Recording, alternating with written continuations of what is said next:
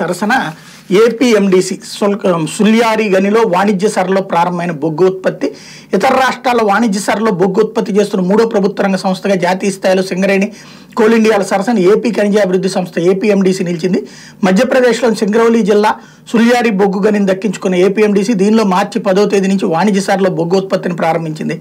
రెండు వేల ఏడులోనే కేంద్ర ప్రభుత్వం బొగ్గు ఉత్పత్తిని ప్రారంభించింది. రెండు వేల ఏడులోనే కేంద్ర ప్రభుత్వం ఈ బొగ్గు గని ఏపీఎండీసీ కేటాయించిన వివిధ కారణాల వల్ల రెండు వేల పంతొమ్మిది వరకు మైనింగ్ కార్యక్రమాలు ప్రారంభం కాలేదు. వైఎస్ జగన్ అధికారులకు వచ్చాక ఈ బొగ్గు గనిని ప్రతిష్టాత్మకంగా తీసుకున్నారు. బొగ్గు ఉత్పత్తికి ఎదురవుతున్న ఆటంకాలను పరిష్కరించడంపై ప్రత్యేక దృష్టి సారించారు.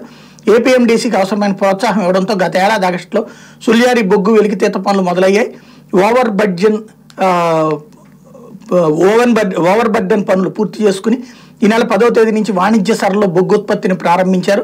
అక్కడ ఉత్పత్తి చేసే బొగ్గులో ఇరవై ఐదు శాతం సూక్ష్మ చిన్న మధ్య తరహా పరిశ్రమలకు ఎంఎస్ఎంఈలకు కేటాయించామన్న కేటాయించబోతున్నారు. మిగిలిన దాన్ని విద్యుత్ ఉత్పత్తి సంస్థలకు విక్రయిస్తారు. ఎంఎస్ఎంఈలకు బొగ్గు విక్రయాలకు సంబంధించి నెల పదిహేడవ తేదీన ఎం జంక్షన్ ద్వారా ఈ వేళ నిర్వహించబోతున్నారు. ఇది రాష్ట్రానికి ఏటా పన్నెండు వందల కోట్ల రూపాయలు అదా? అంటే బ- ఇప్పుడు ఇంతకుముందు చెప్పుకున్నాం మనం వ్యాపారాలు ఇట్లాంటి ఏర్పాటు చేసుకోవాల్సి ఉంది సొంతగా సంపాదించుకునేటువంటిదని. ఇది ఒక మంచి నిర్ణయం తీసుకున్నారు చక్కగా. ఈ విషయంలో అభినందించాలి. ఎందుకంటే ఇక్కడ పన్నుల రూపంలో జనం మీద బాధుడే కాకుండా విడిగా ప్రభుత్వం వేరే రకాలైనటువంటి ఆదాయ వనరుల మీద దృష్టి సారించాల్సి ఉంది. దాన్ని ఇక్కడ చేసినందుకు అభినందించాలి.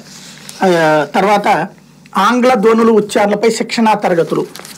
సింగపూర్లోని చెల్సీ అకాడమీ ఆధ్వర్యంలో రాష్ట్ర విద్యా పరిశోధన శిక్షణ మండలిలో ఆంగ్ల ధ్వనులు ఉచ్చారణ శుక్రవారం శిక్షణ తరగతి నిర్వహించారు. మండల డైరెక్టర్ బి. ప్రతాప్ రెడ్డి ఆధ్వర్యంలో అకాడమీకి చెందిన కిషోర్ బి. జోసెఫ్ ఈ కార్యక్రమాన్ని నిర్వహించారు. అధికారులు శైలజ రమేష్ శారద సౌజన్యాలు శైలజ రమేష్ శారద సౌజన్యాలు మాస్టర్ ట్రైన్లు వ్యవహరించి ఇతర రిసోర్స్ పర్సన్స్కి శిక్షణ ఇచ్చారన్నటువంటి వార్తను ఇక్కడ ప్రధానంగా హైలైట్ చేశారు.